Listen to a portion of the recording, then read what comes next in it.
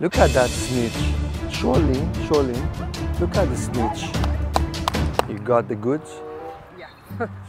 Nine. Jean. The first one is a number five. I'm giving numbers. Huh? I'm giving numbers. So, You know Sean is not here today. oh my god, so number. Look at that snitch. Hey, who told you to tell her? I didn't tell her.